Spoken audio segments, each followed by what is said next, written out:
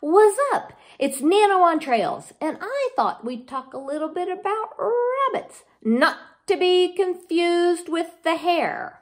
Although the rabbit and the hare are the same family, they are quite a different species.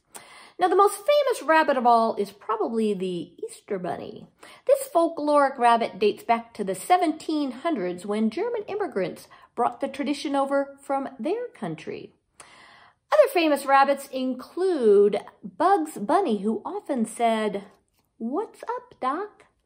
And there's also a Brer Rabbit, Peter Cottontail, and Thumper. Can you think of any other famous rabbits?